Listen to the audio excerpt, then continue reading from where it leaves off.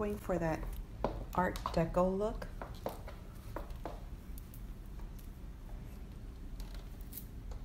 For today's event,